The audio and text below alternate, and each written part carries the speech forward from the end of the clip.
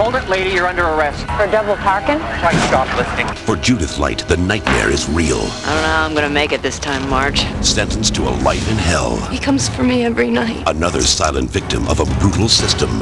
Life can be real easy in prison, or it can be real difficult. Until she takes a stand for justice. That woman has rights and you're violating them. Stacy Keach co-stars We're talking about rape. Against Their Will.